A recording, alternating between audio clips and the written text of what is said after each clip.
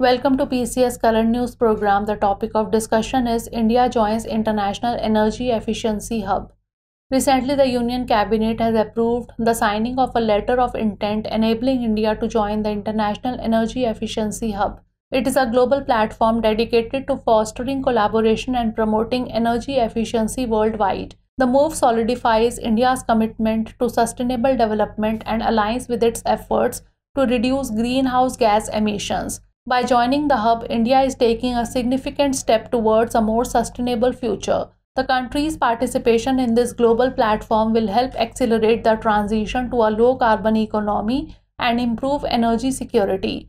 Union Minister of Information and Broadcasting Ashwini Vaishnaw said that this decision will help India gain access to an exclusive 16 nation group sharing strategic energy practices and innovative solutions. He added that as a member of the hub, India will benefit from opportunities for collaboration with other member states, sharing its own expertise and learning from international best practices.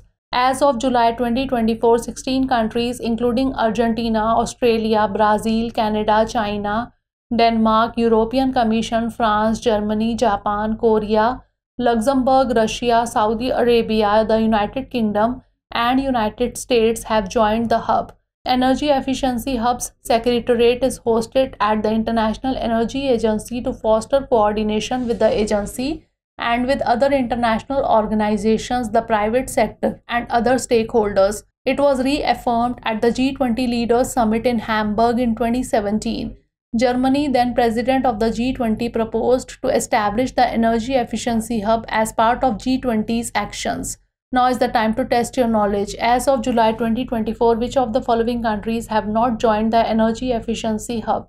China, Argentina, Japan, or Sri Lanka? Send the answer of this question in the comment section. Thanks for watching. For more informative content, like, share, and subscribe. And do not forget to press the bell icon to get the notifications.